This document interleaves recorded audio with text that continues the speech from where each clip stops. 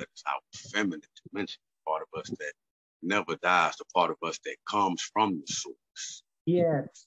I say, right. So the vessel, this masculine energy is basically an extension of the soul, right? Mm-hmm. Means it allows the soul to move around, eat, cook, wash yourself, run, walk, exercise, dance, right?